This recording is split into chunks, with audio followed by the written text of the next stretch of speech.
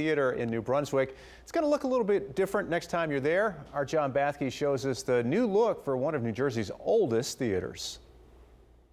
It's not quite a birthday party, but as the State Theater turns 100 years old, it is getting a fresh look. I want people to remember how elegant and wonderful it is to go to live performance. I want them to feel safe.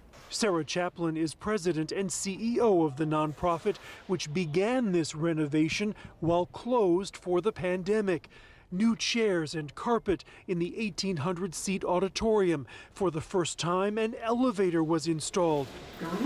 A remodeled lobby, upgraded HVAC system, among other improvements.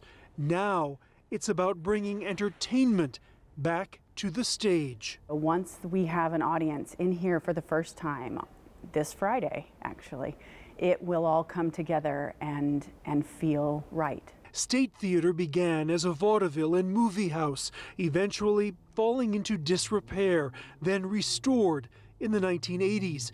Prime Mid Orchestra. This $24 million renovation was funded by donors and Middlesex County. While the theater is looking to the future, it is also honoring its past. Tonight, for special guests, it is screening White Oak, the silent movie that was playing here when the State Theater opened 100 years ago. In New Brunswick, John Bathke, News 12, New Jersey. The theater is going to require vaccination or negative test for audience members, and it's also bought new security screeners to minimize contact as a result of COVID.